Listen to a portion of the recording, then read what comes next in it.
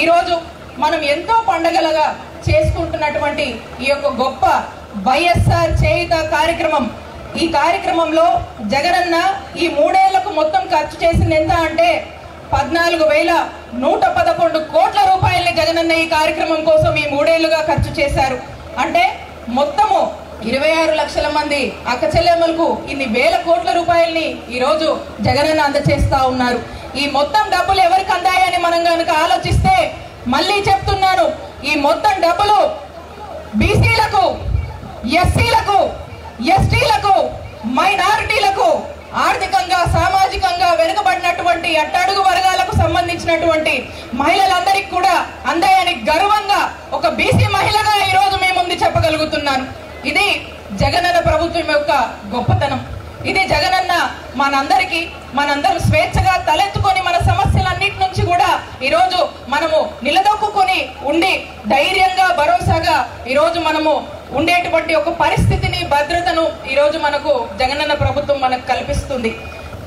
గతంలో చంద్రబాబు నాయుడు గారి పాలనని మనం చూసాము చంద్రబాబు నాయుడు గారి పాలనలో ఏంటి? మీ అందరికి కూడా తెలుసు. మీకు ఇల్లు రావాలంటే మీ పరిస్థితి ఏంటమ్మా? ఎవరికి చెప్పాలి? మీకు ఇల్లు రావాలంటే జన్మభూమి కమిటీలతో మాట్లాడొద్దు మీరు. అవునా కాదా? మీకు ఇల్లు రావాలన్నా మీకు ఒక సంక్షేమ పథకం కావాలన్నా మీరెంతో కొంత డబ్బులు ఇవ్వాలి. మీకు ఆ డబ్బులు ఇస్తే అప్పుడు మీకు ఇల్లు ఇస్తారనో ఏదో ఇస్తారు. మీకు ఆ పథకం రావాలన్నా పెన్షన్ మీరు ఈ పార్టీ మీరు ఈ పల్లెలో ఉన్నారు మీరు ఈ పార్టీ ఈ పార్టీ కోసం తిరుగుతున్నారు. కాబట్టి మీకు మీకు మేమేమి ఇవ్వము. మీరు మా పార్టీలో చేరండి పచ్చకండువా వేసుకోండి. వేసుకున్నప్పుడు ఆలోచిద్దాం అప్పుడు పెడతామని చెప్పిన మాటలు మీరు చూడలేదా? మీరు విన్నారా వినలేదా? గట్టిగా చెప్పాలి. ఈరోజు అలాంటి చెత్త కమిటీలన్నీ కూడా పోయి ఈరోజు చక్కటి వాలంటరీ వ్యవస్థ వచ్చింది. ఈరోజు చక్కటి వాలంటరీ వ్యవస్థ ఏం చేస్తున్నారమ్మా ఈరోజు మీ ఇళ్ళకి వస్తున్నారా వాలంటీర్లు గట్టిగా చెప్పాలి మీరు భోజనాలు ఉన్నాయి నెక్స్ట్ మీకు. గట్టికి చెప్పాలి మీరు. వస్తున్నాయా లేదా? వస్తున్నాయి. ఈరోజు ఒక చక్కటి సంస్కరణలు వాలంటరీ వ్యవస్థ వచ్చి ఈరోజు నేరుగా మన ఇంటికి వచ్చి రూపాయి అయినా ఎవరన్నా ఏ పథకం కోసం అని ఇస్తున్నారా? మీరు డబ్బులు ఇస్తున్నారా? చెప్పండి.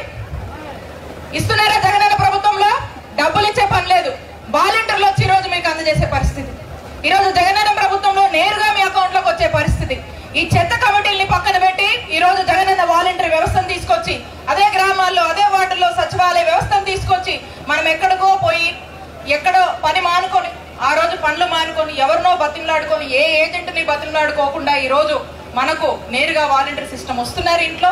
మన ప్రతి యాభై కుటుంబాలని వాళ్ళకు సంబంధించినటువంటి సమస్యలను ఆలకించి ప్రభుత్వం ఏదైతే ఫలాలు ఇస్తున్నారో నేరుగా సంక్షేమ పథకాల గురించి చెప్పడం కానీ అవి అందించడంలో కానీ ఎంతో కీలక పాత్ర పోషించి మీ అందరి కష్టాల్ని కూడా వాళ్ళు అర్థం చేసుకొని మీకు ఏ ఇబ్బంది లేకుండా ఈ రోజు జగనన్న ప్రభుత్వంలో పాలన కొనసాగుతుంది.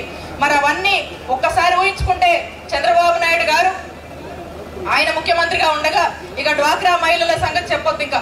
ఇక వాళ్ళని మీటింగ్లోకి తీసుకురావడము కూర్చోబెట్టడము ఆ మాటలు ఈ మాటలు చెప్పడము ఇక ఏం చేసేదేమీ లేదు. ఈ విధంగా మహిళలను కేవలం అందులోను బీసీ ఎస్సీ ఎస్టీ మైనారిటీ మహిళలను కేవలం ఓటు బ్యాంకుగా వాడుకొని అంతేగాని మహిళలకు ఒక మంచి పథకం ఇద్దామని గాని మహిళలకు ఏదన్నా మంచి చేద్దామని గాని ఈ రాష్ట్రంలో ప్రజలకు ఇబ్బందులు ఉన్నాయి ఒక మంచి సంక్షేమ పథకాన్ని ప్రవేశపెట్టి వాళ్ళని ఆదుకుందామని ఎటువంటి ఆలోచన చేసిన పాపాన పోలేదు.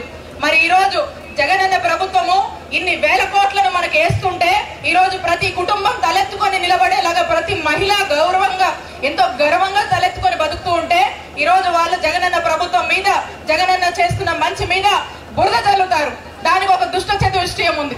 ఆ దుష్ట చతుష్టయము మంచిని చూపించరు.